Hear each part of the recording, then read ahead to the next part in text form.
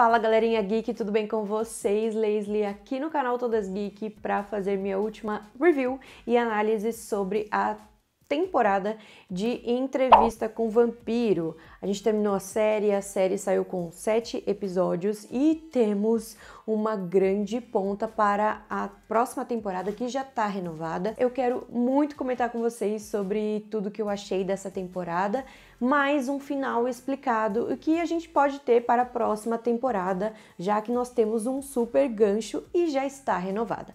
Antes, se inscreve no canal, dá o seu like no vídeo, comenta o que você achou de entrevista com o vampiro. A gente vai falar muito sobre essa série e bora lá falar sobre o episódio 7 de entrevista com o vampiro.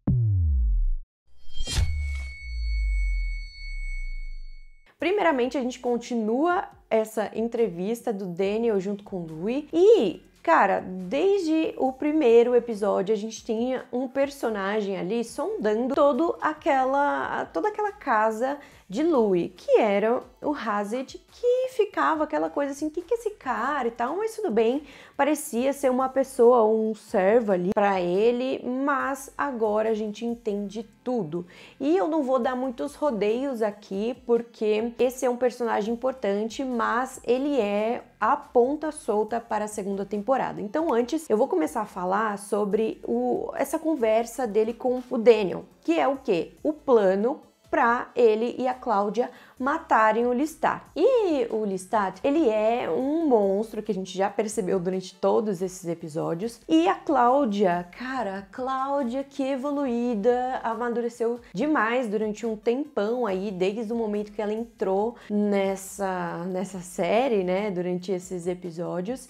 E ela foi muito clara e simples, né? E chegou no momento nesse episódio que é da gente saber como se mata um vampiro neste universo. E aí, obviamente, que não é com cruzes, não é com uh, estacas no peito, mas Aqui a gente vê várias formas de estabilizar um vampiro, por exemplo, quando ele fala sobre envenenamento. Mas de fato, a gente tem aqui um plano muito bem elaborado pela Cláudia e estratégias é sempre muito bem-vindas. E a Cláudia pensa e sabe que a melhor maneira é esse envenenamento através do sangue. Então o que, que ela vai fazer?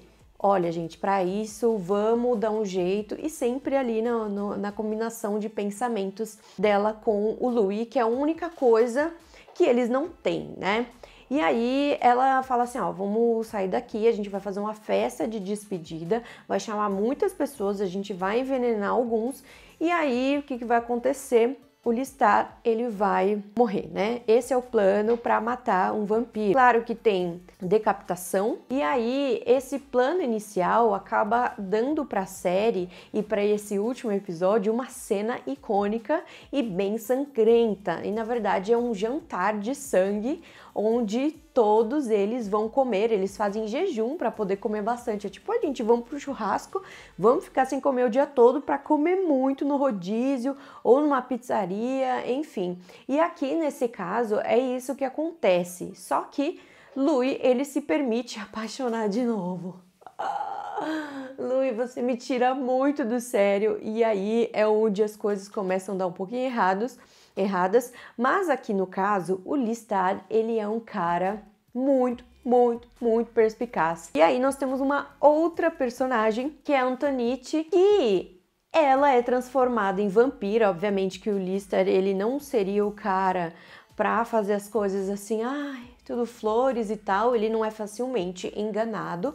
E aí ele deixa Antonite para ser a espiã e ficar de olho em todo o plano da Cláudia. Só que a Cláudia foi muito mais per perspicaz. Ela deixou, tinha um, um, um, os gêmeos e um deles estava envenenado. Mas aí o que, que acontece? Ela deixou outra pessoa que ela tinha certeza que o Listar ia ser envenenado por ele e foi isso que aconteceu, né? Depois daquela matança toda, ele conseguiu ser envenenado e parou de respirar.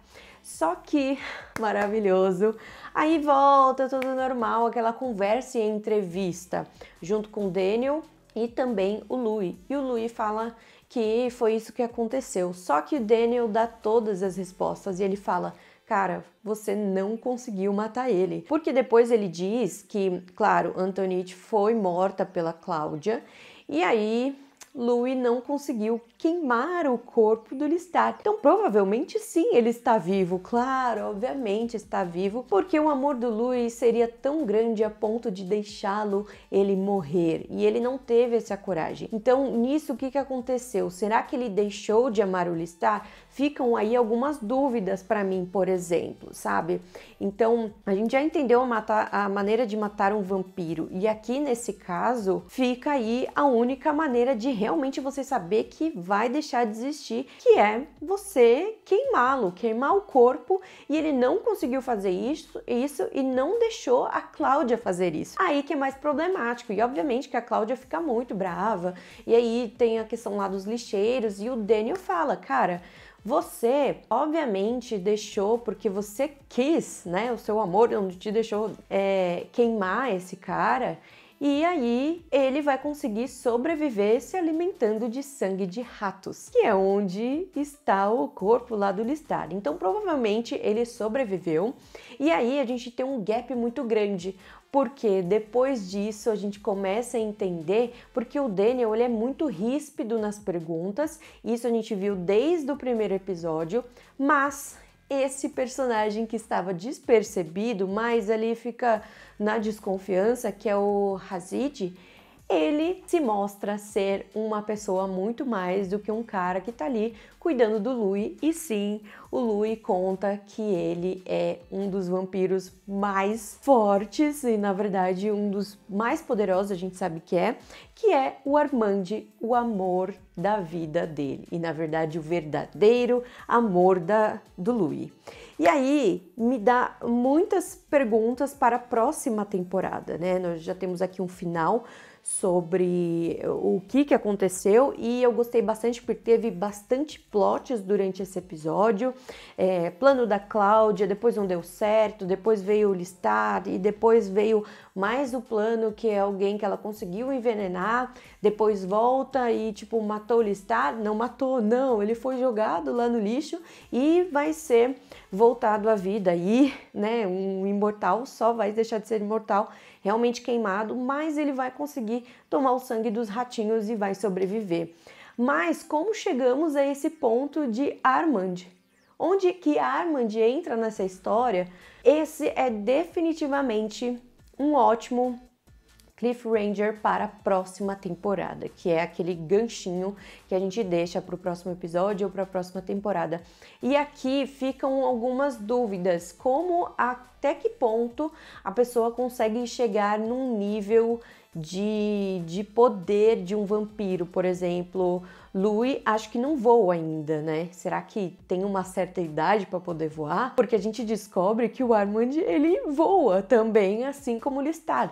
Então parece que ele é mais poderoso. Será que nesse meio tempo essa história ainda vai ser contada? Obviamente que vai continuar a entrevista, mas nessa segunda temporada, cara, eu tô pensando aqui falando aqui com vocês, mas boa essa série, é maravilhosa, eu amei e acho que o desenvolvimento dela é muito, muito, muito interessante. Eu amo séries de vampiro, acho que essa é a melhor série de vampiro do universo, assim, série até agora. Vocês sabem que eu sou muito fã de coisas de vampiros e tal, mas uma série muito bem desenvolvida é o que me deixa super feliz. Se tiver algum ponto que eu não comentei aqui com vocês, comenta que a gente vai falar sobre essa série. Se inscreve no canal, dá o seu like no vídeo espero vocês no próximo vídeo. Um beijo. Tchau.